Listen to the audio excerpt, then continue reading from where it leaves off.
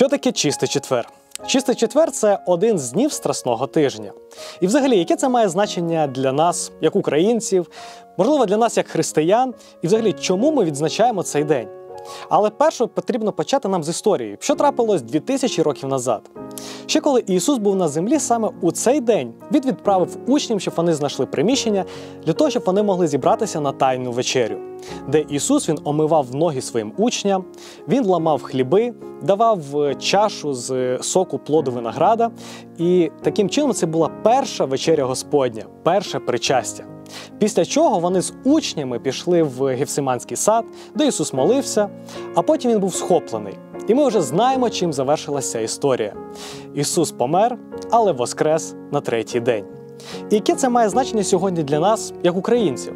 В першу чергу це в традиції закорінилося так, як саме в цей день має бути чистота. І тому багато господарів, господинь вони наводять чистоту в своїх дворах, квартирах, домівках, е, вичищають свої сади для того, щоб вже зустріти літо в такій чистоті і бути чистими від усього.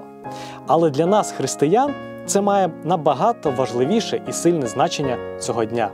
Саме у цей день ми готуємо не тільки зовнішню нашу чистоту, хоча це дуже і дуже важливо, але й нашу внутрішню. Ми готуємося до чистоти нашого серця. Бо саме у цей день ми приходимо і ми сповідуємося перед Богом у наших гріхах. Так як сказано у Слові Божому, щоб ми сповідались одне перед одним, для того, щоб ми могли винести на світло наші гріхи, наші проблеми і те, що ми боремося, і, можливо, нас вже такий як величезний тягар в серці і не дає нам спокою, не дає нам нормально жити. Ми просто це вивільняємо.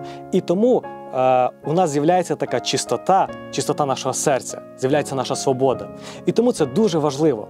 Проте я хотів би сказати, що не просто чистота важлива, не просто сповідуватися раз на рік у чистий четвер. Я хотів би сказати, що набагато важливіше це сповідуватися і прийняти рішення, щоб далі йти і не грішити, щоб далі було наше рішення, щоб життя воно змінювалося.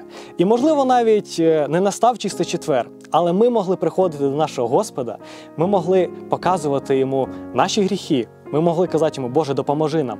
І він точно нас почує, зрозуміє і дасть нам прощення і свободу. Тому я запрошую вас сьогодні на онлайн служіння чистого четверга, яке відбудеться о 19.00.